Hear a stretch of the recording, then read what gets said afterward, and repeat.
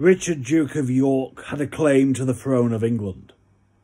It was made stronger still because the current king, Henry VI, was more than a little mad. This claim started the bloody civil war in England, known as the Wars of the Roses, between the House of Lancaster and the House of York. At the Battle of Wakefield, Richard, Duke of York, was killed.